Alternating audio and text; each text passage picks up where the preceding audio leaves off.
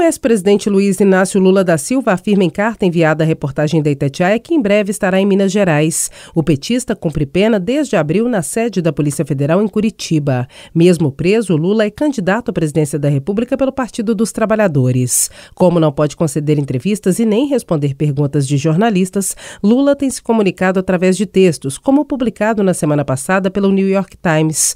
Na Itatiaia, como prevê a legislação eleitoral, o ex-presidente teve o mesmo espaço concedido aos demais candidatos à presidência da República, que têm concedido entrevistas à emissora.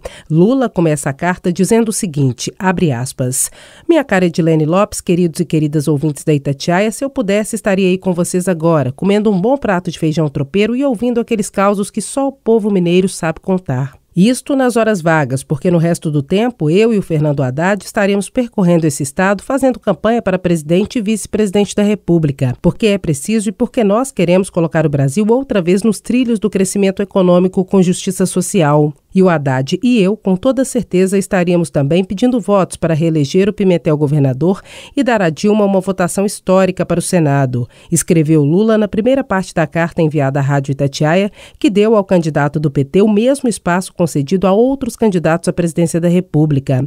Lula prossegue o texto dizendo, abre aspas, mas infelizmente eu não posso estar aí com vocês, porque aqueles que deram o golpe no povo brasileiro e derrubaram a primeira presidenta do Brasil sem crime de responsabilidade são os mesmos que me condenaram e me prenderam, sem nenhuma prova de qualquer crime cometido. São os mesmos que deixaram Minas Gerais com uma dívida do tamanho que tinha a Serra do Curral, antes de ser comida pela mineração.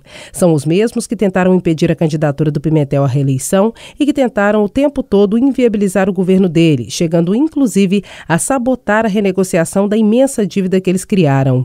E mesmo assim, o Pimentel governou e segue governando para todos os mineiros, principalmente para aqueles que mais necessitam necessitam, afirma Lula no texto enviado a Itatiaia. Ele continua a carta dizendo, abre aspas, e a vergonha dos nossos adversários é tanta que o candidato deles, o mesmo que não soube aceitar a derrota na eleição presidencial de 2014, achou mais prudente se esconder atrás de uma candidatura a deputado federal para não perder de novo para Dilma, dessa vez na disputa ao Senado. Foi assim que eles inventaram o mais novo prato da culinária mineira, indigesto e difícil de engolir, o escondidinho de tucano, repetiu Lula, uma frase que já havia dito em uma carta enviada para a Convenção Estadual do Partido dos Trabalhadores. Ele termina o texto da seguinte forma, abre aspas, Meus queridos e minhas queridas ouvintes da Itatiaia, minha cara Edilene, a quem darei uma entrevista exclusiva tão logo a democracia seja restaurada no nosso país. Preso injustamente em Curitiba, exilado do povo brasileiro, faço aqui uma promessa.